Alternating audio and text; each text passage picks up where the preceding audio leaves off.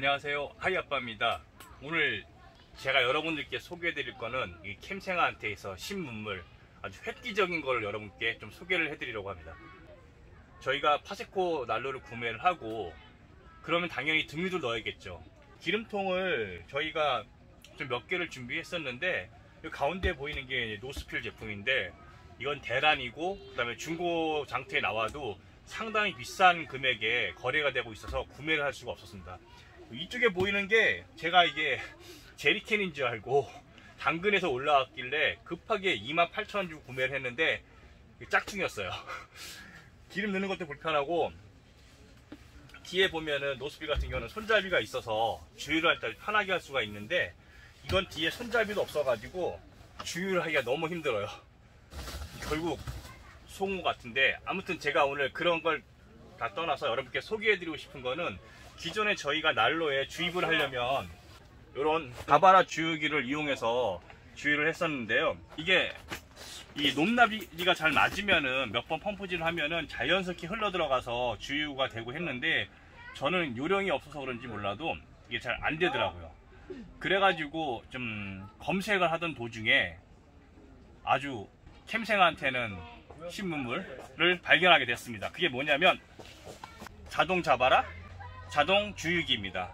이걸 이용해 넣으면은 기름도 새지 않고 그 다음에 손쉽게 해서 이용을 할 수가 있는데요. 가격도 상당하게 저렴하게 구매를 했습니다. 여기서 구매를 했습니다. 그 전동 자바라 설명드리기 전에 이 노스필이 왜 인기가 있냐 하면은 말 그대로 기름이 새지 않았습니다. 보관도 용이하고 기름을 주유할 때 아주 편리하게 사용을 할 수가 있어서 인기가 있는데요. 우선 기름을 주유할 때는 돌려서 넣고 초록색 버튼을 누르면은 어, 주유가 시작되고요. 초록색 버튼을 떼면 바로 주유가 멈춥니다. 장점이 기름이 전혀 새지 않는다는 장점을 갖고 있는데요. 제가 구매한 이 짝퉁은 입구도 틀어져 있고 뭐 사용하는 방법은 이 부분을 열어서 뒤로 당기면은 기름이 나오고 다시 놓으면은 기름이 멈추는 역할을 하긴 하는데 줄줄 셉니다. 실패했어요. 그래서 그냥 이 용도 자체를 그냥 기름통 용도로 사용을 할 거고요. 기름을 조금 더 수월하게 넣기 위해서 아까 제가 보여드렸던 구매를 했던 거를 여러분들께 이제 자세히 보여드리도록 하겠습니다. 참 이거는 옆 텐트에서 빌려온 겁니다. 저희 거 아니에요. 내가 혼내줘야겠다. 저희가 보통 주유를 할 때 이런 자바라를 이용을 해서 하는데요. 그 많은 분들이 카페에서도 글을 보니까 주유를 할 때 불을 켜놓고 그대로 하신다고 하는 분들이 꽤 많더라고요. 절대 저는 뭐 숙달 내셨다 하더라도 위험하니까 주유를 할 때는 항상 소화를 시키고 소화를 시키고 주유를 하는 걸 추천드리겠습니다. 보통 저희가 자바라를 이렇게 넣고서 제가 못하는 건지 모르겠지만 이 펌프질을 열심히 합니다. 그러면 이게 자연스럽게 흘러 들어가야 되는 부분이 있는데 그러지가 않아서 저는 매번 이 펌프질을 계속 해대고 있거든요. 근데 이게 잘 들어갈 땐 상관이 없는데 안 들어갈 땐 너무 힘이 듭니다. 그러니까 저희가 일반적으로 주유하는 이게 방법이고요. 오늘 소개시켜 드릴 방법은 이 자동 주유 자동 주유기입니다 자동 주유기. 아까 전에 말씀드렸던 이곳에서 구매를 했고요. 자 상단부를 열어서 건전지 이게 D형 건전지인데요. 음, D형 건전지 두 개가 들어갑니다. 여기 보시면 극성이 표시가 되어 있어 가지고 여기에 맞게끔 건전지를 삽입하시면 되고요. 네, 건전지를 삽입하고 주의를 한번 해보도록 하겠습니다. 잠그시고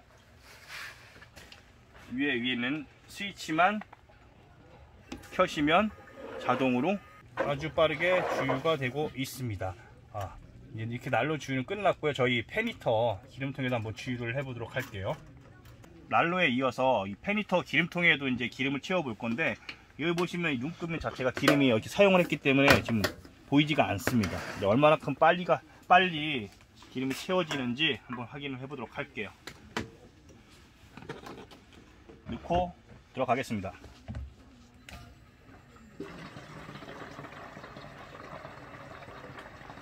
지금 보시면은 기름이 차는 게 차는 것을 볼 수가 있습니다. 음, 중간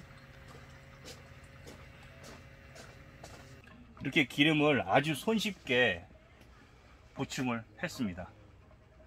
기름이 흐르는 부분을 무시는 못하겠지만 그래도 기존에 있던 것보다는 아주 편하게 주유를 할 수 있는 장점이 있어요. 주유를 이렇게 끝마쳤는데요. 어, 이게 맞는 말인지 모르겠지만 건전지를 계속 끼워 놓으면 방전이 빨리 되기 때문에 주유가 끝난 뒤에는 건전지를 빼놓으라고 하더군요.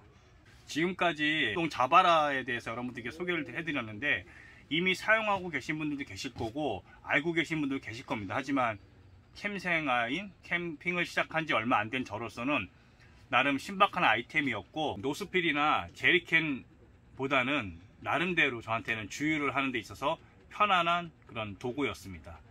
다음에 좀 더 저한테 있어서 신기한 제품이라든가 어, 캠핑을 처음 시작하시는 분들에게 도움이 될 만한 게 있으면 또 가지고 찾아뵙도록 하겠습니다.